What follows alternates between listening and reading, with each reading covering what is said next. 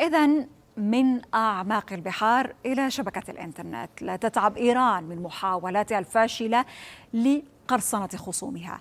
آخر العمليات هي محاولة زرع فيروس في منزل وزير الدفاع الإسرائيلي بيني كانتس بواسطة عامل النظافة. بحسب صحيفة جيروساليم بوست ربط عامل النظافة اتصالا مع مجموعة القرصنة الظل الأسود المشتبه في ارتباطها بإيران. اقترح العامل هذا أورين غوروتشسفيك تثبيت فيروس في الكمبيوتر الشخصي لبينيكانس لسرقة وثائق سرية. ولإثبات حسن النوايا قالت الصحيفة العبرية أن العامل أرسل حزمة صور لمستلزمات تتعلق بوزيرة الدفاع بوزير الدفاع الإسرائيلي.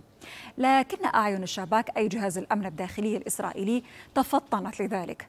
أحبطت المحاولة قبل الكشف عن أي مواد سرية وأمنية.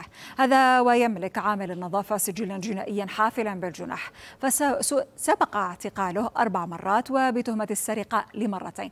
ليست المرة الأولى التي يكون فيها بينيكانس هدفا.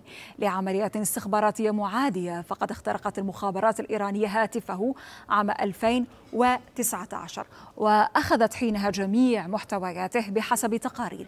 ملابسات قضية العامل تقودنا إلى السؤال التالي. من هي منظمة الظل الأسود المتهمة بالوقوف وراء عملية التجسس.